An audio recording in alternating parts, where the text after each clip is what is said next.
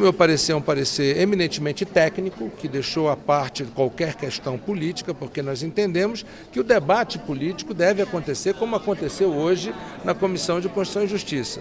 E acho que o bom senso prevaleceu e acabou havendo um grande entendimento e, fica, e ficou a, a sabatina para a próxima, a próxima terça-feira. Encerrada a sabatina, uh, há votação e há um pedido de urgência uh, para que o, o, o processado seja encaminhado para o plenário imediatamente.